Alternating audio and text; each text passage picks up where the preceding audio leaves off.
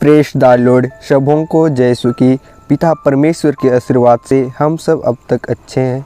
तो चलिए आज कि इस दिन को शुरू करने से पहले पिता परमेश्वर को याद करते हैं। पिता और पुत्र और पुत्र आत्मा के नाम पर आमे चलिए हम सभी मिलकर प्रार्थना में भाग ले और अपने पापों को प्रायश्चित करते हुए इस दिन की शुरुआत करें।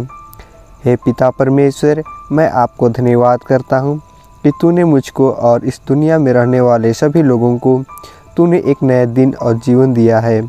आज के सुंदर दिन के लिए मैं आपको धन्यवाद करता हूँ और करता रहूँगा। हे प्रभु, आज की इस दिन को मैं आपके हाथों समर्पित करता हूँ।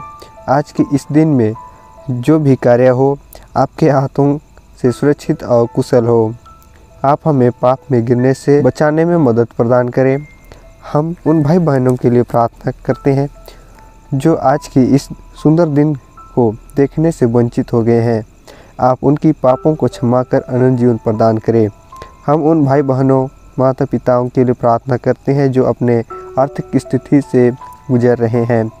वे ढाढ़स बनाए रखें और परमेश्वर की आराधना करते रहें। हम उन सभी बीमार से पीड़ित लोगों के लिए प्रार्थना करते हैं कि वे जल्दी से चंगाई प्रदान करें और अपने जीवन में खुशहाली ला सकें। हे प्रभु, आजकल एग्ज़ाम का माहौल है।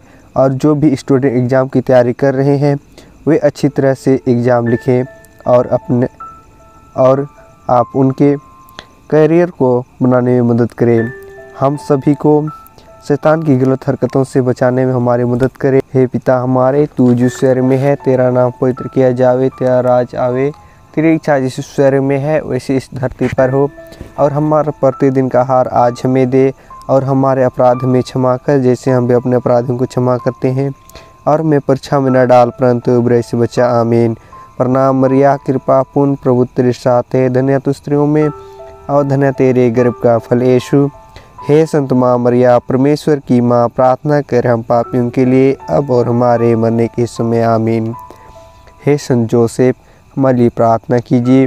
हे संत मरियम, हमारे लिए प्रार्थना कीजिए।